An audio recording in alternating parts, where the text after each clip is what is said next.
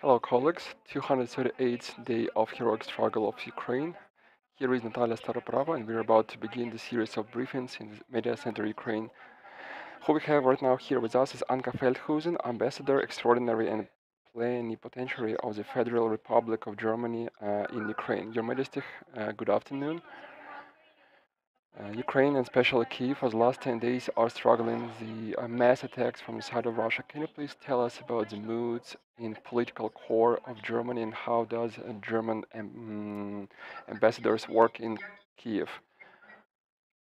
Well, the ambassadors as well as the, all the other ambassadors uh, are working exactly in the in the mode before, and uh, we are working according to our plans, and we have different missions and uh, we are staying uh, shoulder by shoulder with Ukrainian society and I truly am impressed by how calmly and especially Kiev people uh, take this all through and we are trying to take this as, as an example and continue our work. And how did the work and format and schedules of uh, German of ambassadors working because I know there are several narratives from Russia side in order to create the blackmailing and panic in between political circles. How does it work with you? Well, we were asked and uh, by, uh, by other ambassadors whether we work because yes, Russian narratives are in such a way that we kind of escape, but it, this is not true, and these are indeed fake news, and all of the TV channels we are trying to. Miss Anka, do you do you hear us? Did you hear us? Yes, yes. Can I ask you to repeat, please, what you said last? I wanted to say that these are fake news, and we are trying on all the TV channels to show that uh, not only through tweets, not only by presence on all different events as this one, that we are here in Kiev and we are working. And I want to remind that on the 15th of October, German Chancellor uh, Mr. Scholz urged for widening of European Union. He also remembered about several countries. And what does it mean? do Ukrainians do are Ukrainians seen in this list of countries? Well, uh, Chancellor Olaf Scholz was here in Kiev in June, and he clearly stated that Germany is completely for Ukraine to be a candidate for EU membership. Nothing changed since that time. And the process, this process is clearly written in all in all the rules and we are simply following them and all these procedures and uh, you know that there will be seven steps that Ukraine is still working on and me uh, together with the Ukrainian government we are hoping that by the end of this year these steps will be implemented and Ukraine will be able to start negotiations with Brussels regarding how to move forward to, towards Ukrainian uh, EU memberships and more about these steps, you as ambassadors of one of the most powerful countries of European countries, what can you tell about the progress of Ukraine? What steps did Ukraine manage to go through the best and uh, what steps are a little bit slower implemented in Ukraine? Well, all these steps or, or forms uh, we have already uh, been working on and talking about with Ukraine this is, first of all, the success uh, when it comes to courts and courts reforms. As for me, there is there is a progress there, and especially with the commission that is choosing a new head of National Anti-Corruption Bureau of Ukraine, and he has already started to work. And these commissions uh, that are controlling the candidates for membership to the Senior Judgment uh, Council, and they are working. So there is there is prog progress there, and we are observing for this progress to move on. And we understand that some things are difficult to implement during wartime, but these steps are capable and uh, are uh, are able to to do. Another question is regarding, for example, this law about de-oligarchization. There were some recommendations uh, of Venice Commission? And there are a little bit discussion regarding how to change this law. Also uh, law about media and I think that the first uh, project of the law during the first hearings was accepted quite good and uh, one can continue working uh, in this direction by the time of the second hearing to make this law according to the European standards. All in all, the progress, as for me, really exists, and we are simply following uh, and going further with the government and making sure it will be possible. Germany is one of the countries and one of the biggest countries, if I remember serves me right, on the second position that helps Ukraine most. And it is already known that Germany doesn't stop supplying high high quality weapon systems and the, the, weapon systems are the first necessity. We already know that there are some supplies to Ukraine. Does Germany receive a reaction from Ukraine, Ukrainian government, Ukrainian soldiers how about how these weapon systems are being used? We are always glad that there is this kind of feedback and yesterday uh, Zelensky president said by himself that uh, these weapon systems are already working. And uh, these systems help helped to protect Ukraine against Russian rockets and this is indeed very important. And we saw these two weeks that the protection uh, against rockets is extremely important these days.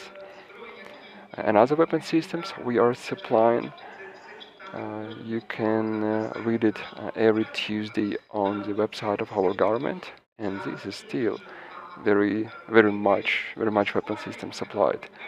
We increased the number of equipment for example uh, armed armed uh, maintenance and evacuation vehicles. We wanted to supply five of them we're we're supplying in, fact 10 of them and other things as for example tents that the soldiers need quite urgently during the winter time. Uh, instead of 100 tents, we are supplying 200 of them, and we are trying to look forward what Ukraine really needs right now, and uh, we are trying to, to, to provide it to Ukraine.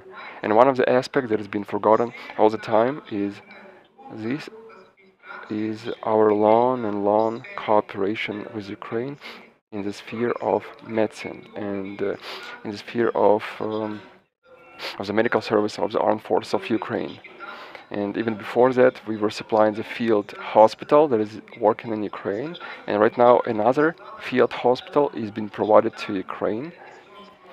And it is produced in Estonia. And I think that these are extremely important things because these are the things that will have that will save the life of Ukrainian soldiers. Russian, Russia does not stop its propaganda, and besides the fact that it reminds all the time, or let's put it this way, line uh, that the Western weapon systems are being used in Ukraine not according to their purpose, plus Russia is uh, blackmailing by means of declining the amount of gas supplied to Ukraine. How does Germany react to this Russian propaganda? Well, uh, we are ignoring this propaganda and uh, our position is the following. We have chosen quite properly that equipment and that weapon systems that Ukraine needs right now. We will provide it to Ukraine and this is uh, from this moment Ukrainian weapon systems and it is up to Ukraine to use it in a way Ukraine wants. Ukraine wants. And by doing this, we trust Ukraine, and uh, and that's it. Regarding the gas, the last numbers, uh, Europe is receiving only 7% of, uh, of the gas through um, of, of Russian gas. And our gas chambers are almost 100% filled and uh, we also declined the usage of Russian gas approximately 30% so mm, both Germany and both European countries have adapted quite quick to importing less Russian gas, and right now there is almost none of import of Russian gas. And as at right now, it is functioning, and we all are hoping that this winter uh, not to be so cold. And uh, I, I, I, think that we have prepared ourselves quite well. And for Russians, I, I want to remind this, uh, for Russians it will be harder the crossing of the border of European countries and it will be harder for them to receive visa and visa mode regime. What are the moods in Ukraine, in, in Germany right now regarding the Russians and re regarding the Russians in, in Germany? Well, we are talking about this with our partners and there are different approaches to this. Our approach is the following, is to look at each individual case and then we, we will decide about whether to provide visa to this or that man or not. Because in Germany, as you know, there is uh, a huge minority of Russian-speaking people, we call them diaspora, and I think that